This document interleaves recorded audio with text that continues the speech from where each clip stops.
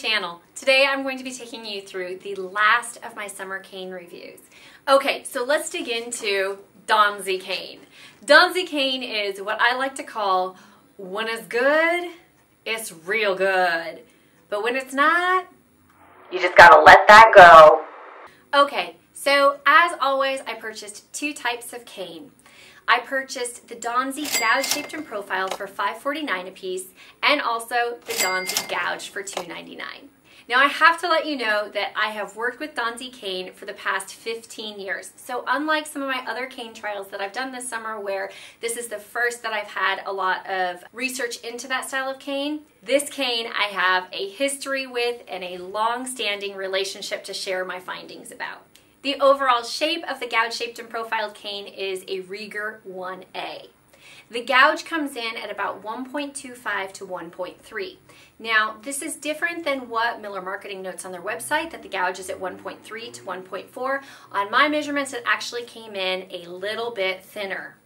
The overall heart and profile for a reed that is about 55 millimeters in length comes in anywhere from about 82 to 87 for that heart measurement. The overall tip is also quite thick. It comes in at about 60.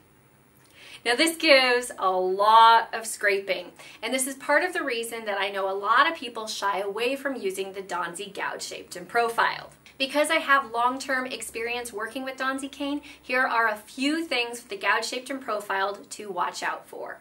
Sometimes the shaping has little jagged edges on it especially on the tube. So you might want to take a little bit of time and sand those edges down because sometimes it's just not a smooth edge. There is some slight color variation and some of those pieces you might actually want to weed out um, or you can actually just use them to practice making reeds with.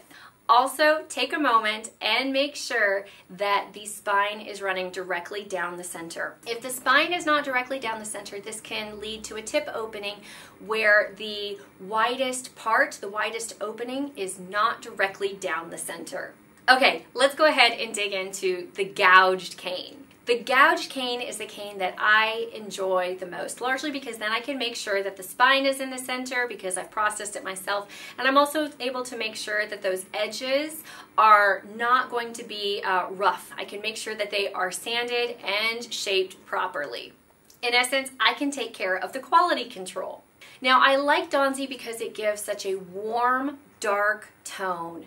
On some of the pieces that I've played, it gives just that rich bassoon color and it resonates quite well. Most often it appears in my reed boxes that are known as champions. Champions mean that they are my first bassoon playing uh, for orchestra or if I'm going to be playing with piano. Those are the reeds that will end up in the champions box and at least half of my reed box are Danzi. Because the cane is so good and hard, it is prone to having good, solid high notes. So um, if you're looking for um, a high note reed, I would look into the Danzi.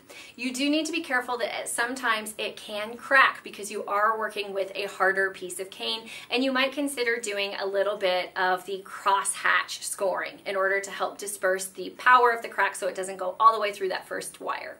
Two other key factors that I suggest you uh, go ahead and watch out for are hyperpigmentation.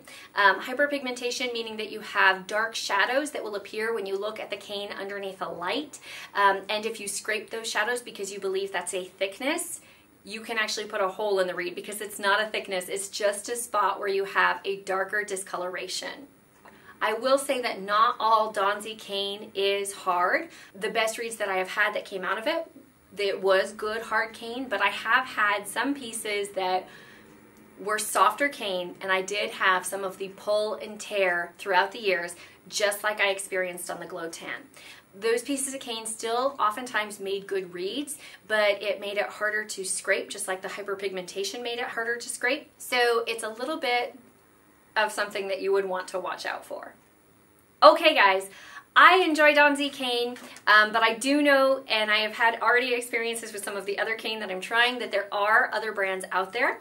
Um, so I hope you will stay tuned for more of my cane reviews as we venture past the summer months. And I will see you guys next time. Bye! Today I have a very special treat for you. I have guest Kevin Eberly sharing his opinions as well as my opinions on the Rieger cane. Now, this is great because I know that there are more than uh, just my ideas on reed making and reed styles. $2.99, $5.49. $2.99, $5.49. Purchased the gouge shaped and profiled for... Oh. Okay, so as always, I purchased two types of Don the gouge shaped and profiled for $2.99 a piece. And also, no, that's backwards.